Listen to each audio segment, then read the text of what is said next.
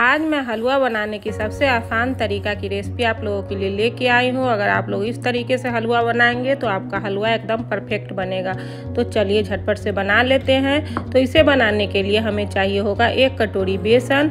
इधर हमने गैस पे पैन चढ़ा दिया है। पैन में डालेंगे आधा कटोरी घी।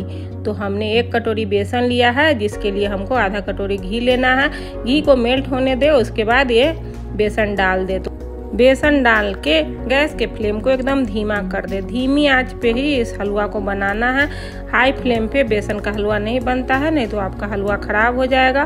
तो चलिए फिर इसे धीमी आँच पर इसे हम मिलाते हुए चला लेंगे। अब यहाँ पे हम ऐड कर दे रहे हैं दो चम्मच सूजी। सूजी ऑप्शनल है, अगर आपको मन हो तो डाले, नहीं तो कोई बात नहीं है। तो चलिए सूजी हमने डाल दिया, उसको मिलाते हुए धीमी आँच पर भूनना जैसे जैसे भुनेगा, इसका घी छोड़ते जाएगा। तो आप यहाँ देखेंगे कितने अच्छे तरीके से घी छोड़ रहा है और बहुत ही अच्छे तरीके से मेल्ट हो चुका है। बेसन में से अब सौंधा सौंधा खुशबू भी आने लगा है। इसमें डालने के लिए हमने दो चम्मच दूध में छेफात धागा केसर का लिया है, जिसको हम बाद में डालेंगे। इसको साइड में रख देते हैं। बेसन अब अच्छे तरीके से भून चुका है, इसका कलर भी चेंज हो चुका है। आप यहाँ देख सकते हो, अब हम इसमें डाल दे रहे हैं आधा कटोरी चीनी।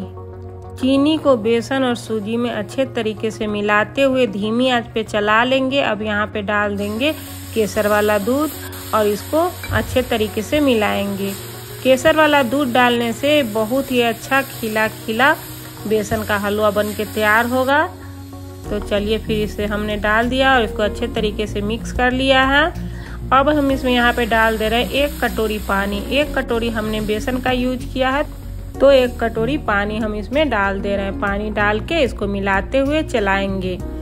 अब यहाँ पे आप यहाँ देखेंगे, हलवा अब गाढ़ा हो चुका है। अब हम इसमें डाल देते हैं एक चम्मच घी। घी डाल के इसको मिला लेंगे। आप लोग एक बार मेरे तरीके से बेसन का हलवा ज़रूर बना के देखिएगा और मुझे ज़रूर कमेंट करके बताइएगा कि आप लोगों को कैसा लगा। तो चलिए अब हम इसमें डाल दे रहे हैं थोड़ा सा दो चुटकी इलायची पाउडर, साथ में डालेंगे थोड़ा सा ड्राई फ्रूट, जिसमें हमने बादाम और काजू लिया है। आप अपने टेस्ट के अनुसार ड्राई फ्रूट डाल सकते हो। तब हम इसे चलिए इस सभी चीज़ों का आपस में मिक्स कर लेते हैं। बेसन का हलवा बन के तैयार है खाने के लिए। चलिए अब हम इसे सर्व कर लेते हैं। यहाँ पे हलवा के ऊपर से थोड़ा सा ड्राई फ्रूट डाल के इसको हम गार्निश कर लेंगे।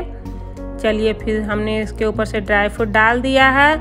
आप लोग ये बेसन का हलवा बनाइए और खाइए। अगर आप लोगों को ये बेसन के हलवा की रेसिपी पसंद आए तो प्लीज़ मेरे चैनल को सब्सक्राइब करें और ज़्यादा से ज़्यादा शेयर करें। Thank you